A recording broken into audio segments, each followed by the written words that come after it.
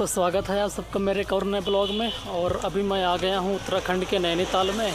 और यहाँ आने के लिए सबसे नज़दीकी रेलवे स्टेशन आपको हल्द्वानी और काठ गोदाम पड़ जाएगा।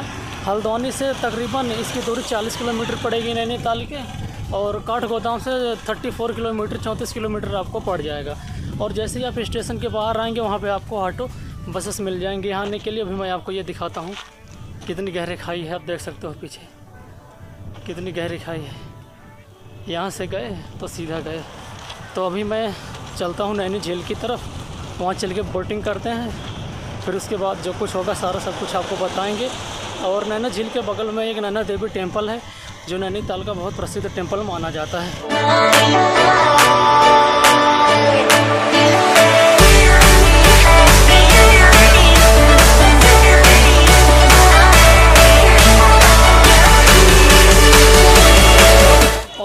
पीछे देख सकते हो, नैनीताल का बस स्टैंड है।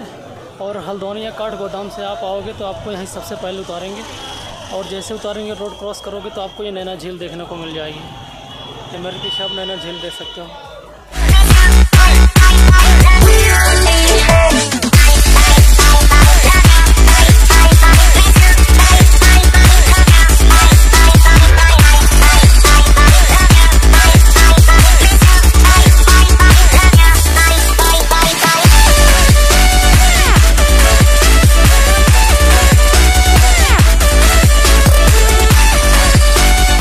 सकते हैं, मेरे पीछे नैना झील है और अभी मैं नैनीताल में आया हूँ।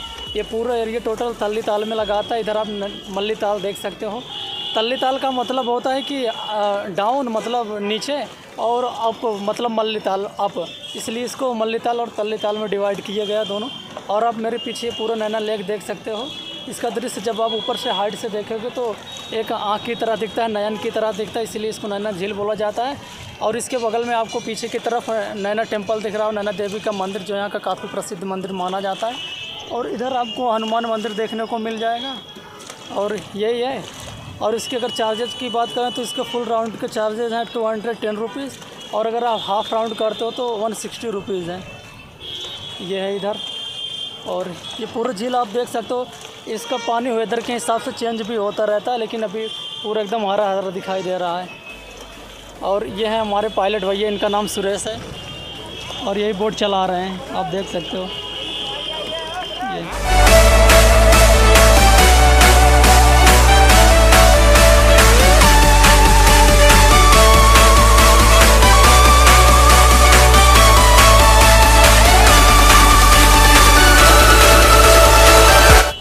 और ये लाइफ जैकेट मैंने पहने हैं काफ़ी हैवी लाइफ जैकेट है।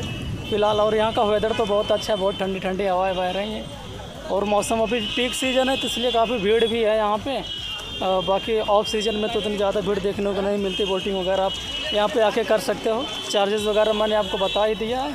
और बहुत ही अच्छा मौसम है बहुत ज़्यादा ठंडी लग रही है यहाँ। आप पूरा एरिया देख सकते हो ये।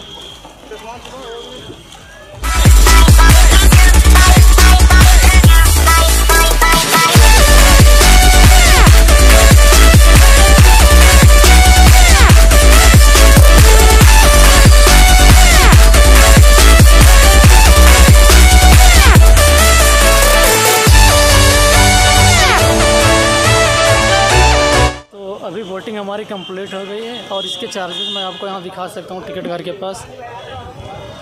या कुछ तरह से इस चार्जेस हैं। यहाँ आप टिकट ले सकते हो। और मैं आगे चलता हूँ। और जो रोड आप देख रहे हो, ये पूरा मॉल रोड है। और ये पूरा नन्नी तल्ली ताल और मल्ली ताल को जोड़ता है। आप मेरे पीछे जो देख रहे हो, ये पूरा मल्ली ताल है।